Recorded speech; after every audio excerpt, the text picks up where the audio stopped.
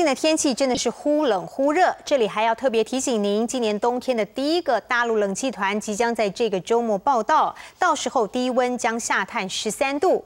不过因为十一月的天气实在是很极端，很多地方的高温和多雨都破了历史记录，所以接下来的冬天到底是偏冷还是偏暖？气象局说他们实在很难预测。都十一月底了，很多人的短袖衣服都还没收，因为今年十一月的天气实在太特别。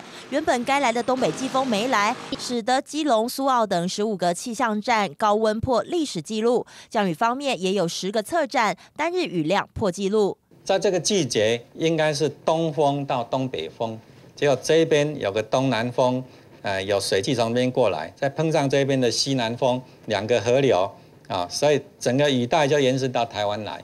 告别异常的十一月，接下来冬天到底天气如何？气象局表示，今年有微弱的反声音现象，冬天很可能气温会偏低，但反北极震荡并不明显，冷空气都锁在北半球，所以今年冬季到底偏暖或偏冷，对气象预报来说是个大难题。特别是对我们天气预报来讲很特别，就是它的信号都有。